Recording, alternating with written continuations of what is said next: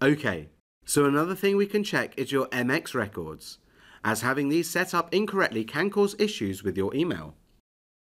Have a look in your 123 Reg control panel. For the domain name that your email address is associated with, click on the Manage button. And then click on the Manage DNS button. Here you will see your MX records for your email settings. OK, so if your MX records are set to 123 Mail, then this means your domain is pointing to 123mail and you should be able to send and receive mail using your 123mail account on webmail. If they are set to an external email service, then you will need to change this to 123 Mail.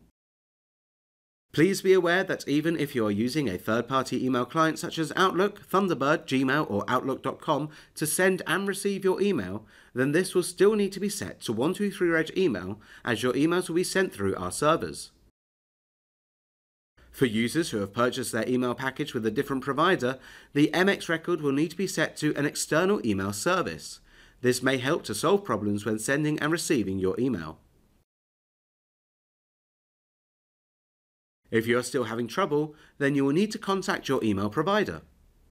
Please remember, if you have made any changes to your DNS, including changing your name servers or MX records, then this can take up to 48 hours to become active, meaning that you may still experience problems with your email until these changes have been propagated over the internet.